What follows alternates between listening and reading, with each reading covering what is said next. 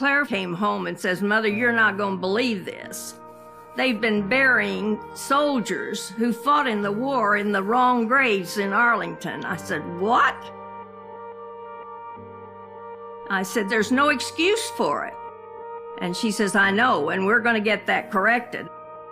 Claire's father was in World War II, so she was particularly aware of veterans' causes. We didn't know till he died, and in his discharge papers, I found that he had a Bronze Star, and he hadn't even told us about it.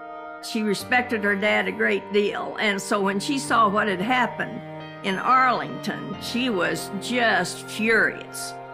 So she started in, and the next thing I knew, they were upending all those people in charge at Arlington and getting the right people in there so they could get that straightened out and people could know where their loved ones were buried.